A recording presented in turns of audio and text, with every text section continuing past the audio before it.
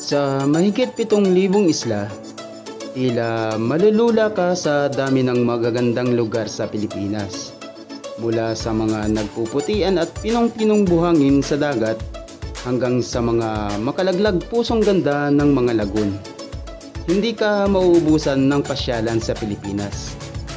Kaya naman, hindi nakapagtatakang pati ang mga banyaga ay nabibighani sa ganda ng bansa. Sa katunayan nga, may ilang banyaga na na piniling manirahan sa Pilipinas.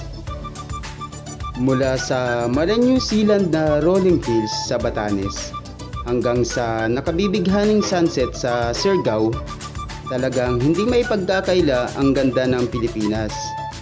Narito ang sampung magandang lugar sa Pilipinas na dapat mong bisitahin soon. Kung bago ka lang sa aking YouTube channel, iniimbitahan kitang mag-subscribe at i-click mo na rin ang bell icon para lagi kang updated sa mga video kong gagawin.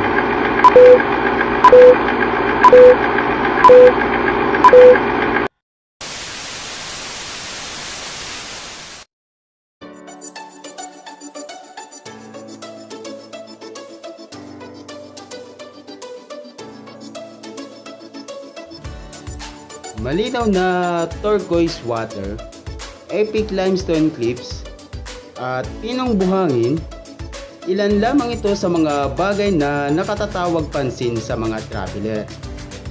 Yan ay ang Palawan. Ipinagmamalaki ng Puerto Princesa ang kanilang underground river na isang UNESCO World Heritage Site. Big and Small Lagoon ng El Nido at Kayangan Lake ng Coron. Sa ganda ng probinsyang ito, ilang beses na itong hinirang bilang best island in the world ng ilang international travel magazine.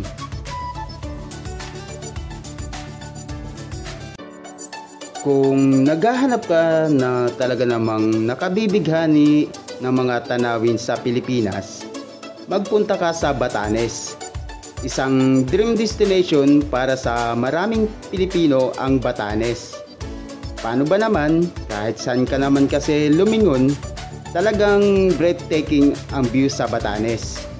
Mula sa bayang Rolling Hills hanggang sa Rakuay Payaman, mapapanganga ka na lang sa ganda. Unbelievable beautiful, ika nga. Kaya itinturing itong isa sa pinakamagandang lugar sa Pilipinas.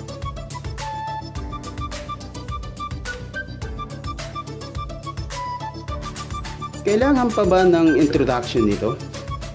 Isa lang naman ang Boracay sa pinakasikat na pasyalan sa Pilipinas. Sing puti ng perlas at sing pino ng pulbos ang buhangin sa White Beach ng Boracay. Ang tubig makintab na serolin ang kulay. Sikat din ang Boracay dahil sa masayang nightlife. Dahil sa Boracay at ang iba pang magandang lugar sa Pilipinas, hindi na kailangan pang tanungin kung paano mahihikayat ang mga turista na pumunta sa Pilipinas.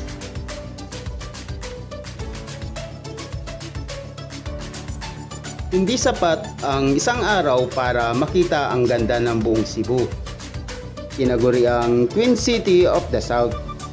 Tila isa itong royalty sa listahan ng Philippine Destination dahil sa dami ng magagandang lugar. Bukod sa mayamang history at kultura, ipinagmamalaki rin ng Cebu ang kanilang pristine white beaches, waterfalls, sardine runs sa Mualboal at Oslob kung saan pwede kang makilangoy kasama ang naglalakihang budanding. Ilan pa sa magagandang tanawin sa Cebu ay ang Kawasan Falls, Sirao Flower Farm at Temple of Leia.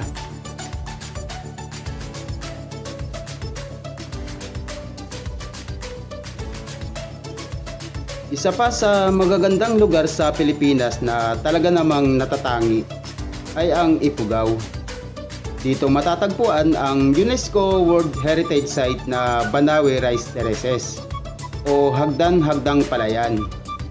Dahil located ito sa norte, malamig ang klima rito. Kaya kung pupunta ka sa Ipugaw, magdala ka ng makakapal na damit.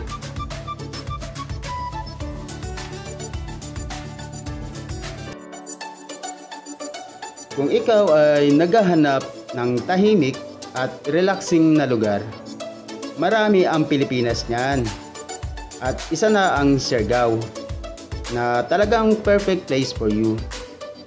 Kilala ang Siargao bilang surfing capital of the Philippines dahil sa naglalakihang alon sa mga dagat ito. Pinakamagandang lugar para mag-surf ay ang Cloud9 kung saan may ganda ring view na sunset.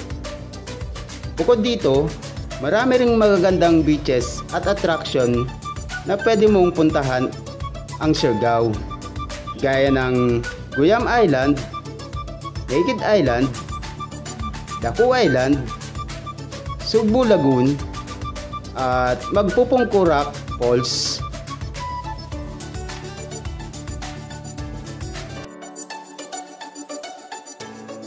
Isa pang katangi-tanging lugar na dapat mong mapuntahan sa Pilipinas ay ang Bicol. Dito mo matatagpuan ang tinaguriang perfect cone shape na mayong volcano. Kung gusto mong mag-beach, pumunta ka sa Karamuan Island at Calagwas Island na kilalang tanawin sa Bicol. Yun nga lang, inaabot ng mahigit 12 oras ang biyahe mula sa Maynila. Pero trust us, the long drive is worth it. May flight din na available papuntang Bicol. Inaabot lang ito ng mahigit isang oras na biyahe mula sa Maynila.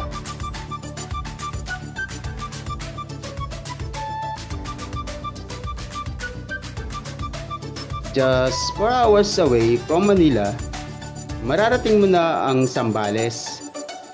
Perfect destination ito para sa mga quick getaway ng barkada o pamilya. Surfing at camping dito.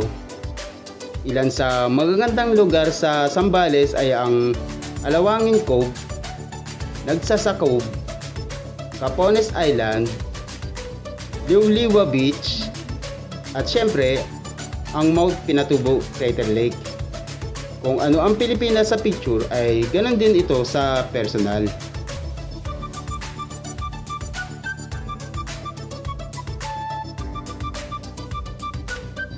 Mula sa nagagandahang white beaches sa Panglao hanggang sa stunning chocolate hills, maraming may pagmamalaki ang Bohol.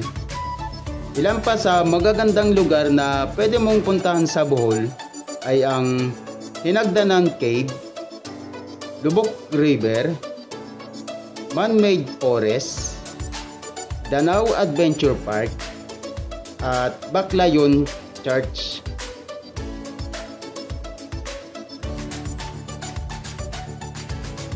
Isa sa pinakamakasaysayang lugar sa Pilipinas ay ang Bigan. Dahil dito, naganap ang isa sa mga bloodiest wars in the Philippine history. The revolt by Diego and Gabriela Silang against the Spaniards. Isa rin ang Bigan sa mga UNESCO World Heritage Sites sa bansa. Tinugurian din ang Bigan bilang sa mga best preserved Spanish colonial town sa mundo.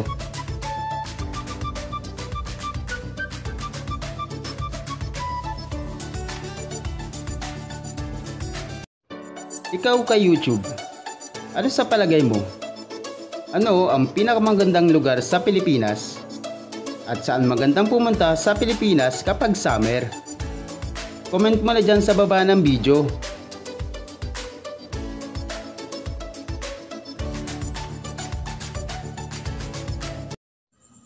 Gusto mo ba ng mga ganitong kwento?